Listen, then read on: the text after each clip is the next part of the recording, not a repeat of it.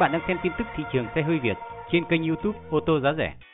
Tại sao xe ô tô điện lại nhanh hơn xe sử dụng động cơ đốt trong? Không phải ai cũng biết được rằng thực tế xe điện thường nhanh hơn so với xe sử dụng động cơ đốt trong nếu cùng một công suất. Chắc hẳn ai cũng từng nghe nếu cùng từ thời gian tăng tốc độ, mô men xoắn hay là công suất. Tuy nhiên, điều này thực sự là gì và ảnh hưởng như thế nào đến khả năng tăng tốc giữa động cơ điện và động cơ đốt trong? Nếu xe điện luôn âm thầm chờ đợi ở chế độ khởi động thì động cơ đốt trong phải trải qua một quá trình đốt cháy nhiên liệu trước khi sản sinh ra sức mạnh. Động cơ đốt trong cần một khoảng thời gian để xảy ra các quá trình piston bơm nén nổ xả trong xi lanh trước khi sinh công. Trong khi đó, tất cả những phản ứng gần như là tức thời trên động cơ chạy bằng điện. Xe điện truyền tải 100% mô men xoắn sinh ra để dẫn động không bị thất thoát qua các bộ phận khác. Khi người điều khiển đạp chân ga, xe lập tức tăng tốc và không có hiện tượng trễ. Do đó, những mẫu xe điện thường có thời gian tăng tốc ngang với những chiếc siêu xe sử dụng động cơ đốt trong. Khi thí nghiệm động cơ V2 trên Lamborghini Aventador ở vòng tua máy 1.000 vòng phút, động cơ chỉ tạo ra mô men xoắn 95 Nm, trong khi đó một chiếc Tesla Model S sản sinh công suất lên tới 660 Nm. Điều này giúp cho Tesla Model S tăng tốc từ 0 đến 100 km/h chỉ trong vòng chưa đầy 3 giây. Công nghệ ngày càng phát triển, dòng xe điện cũng đang được chính phủ các nước đẩy mạnh tiêu thụ nhằm bảo đảm tương lai phát triển bền vững với các phương tiện di chuyển thân thiện với môi trường. Những mẫu xe sử dụng động cơ đốt trong hiện đang dần dần bị loại bỏ khỏi danh mục sản phẩm của các hãng.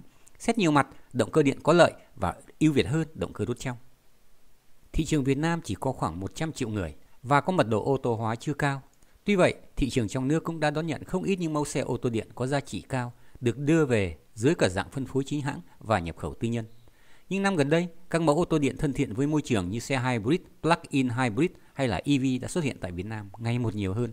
Trong đó, nhóm ô tô hybrid và plug-in hybrid có những mẫu xe được phân phối chính hãng như Toyota Corolla Cross, Lexus RX 450h, Lexus LS 500h, Lexus ES 300h hay là Volvo XC90 T8.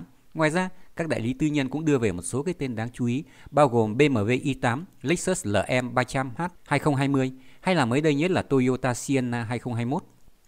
Với nhóm ô tô chạy thuần điện EV, người dùng không có nhiều sự lựa chọn đa phần. Xe EV tại Việt Nam hiện đang được nhập khẩu tư nhân, có một số lượng không nhiều và giá bán rất là cao. Tuy vậy, trong thời gian tới, chỉ với khoảng tháng 5 tới thôi, hãng xe Việt Nam VinFast sẽ đưa ra thị trường 3 mẫu xe điện. Hy vọng là với giá cả phải chăng để đại đa số người tiêu dùng tại Việt Nam có điều kiện tiếp cận với một mẫu ô tô thân thiện với môi trường. Mẫu Các bạn đang xem video trên kênh Ô tô giá rẻ. Chúng tôi luôn đem đến cho các bạn những thông tin bổ ích và lý thú với hình ảnh cụ thể, sắc nét và đẹp mắt. Rất mong các bạn đăng ký kênh và nhớ bật chuông nhỏ bên cạnh để thường xuyên nhận bài. Chúc các bạn lái xe an toàn, vui trẻ, hạnh phúc và luôn luôn thành công.